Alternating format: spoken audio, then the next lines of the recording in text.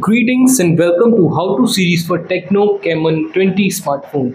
If you have this smartphone and you want to change your 3 button navigation to gesture navigation or you want to explore all the settings of navigation then this is the video for you. We will also show you how you can change the positions of these buttons or change it to gesture navigation. Let's begin. Firstly you have to go to the settings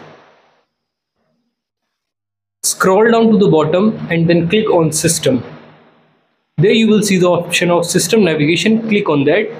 Now if you want to change from 3 button navigation to gesture navigation you can simply select the gesture navigation. Now your phone's navigation has been changed from 3 button navigation to gesture navigation. Now you can go to back from left or right. You can go to the home menu by just scrolling from the bottom.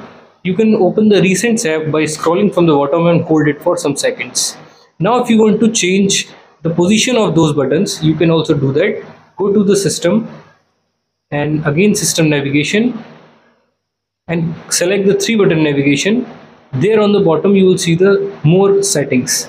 As you can see you can change the position of these three buttons.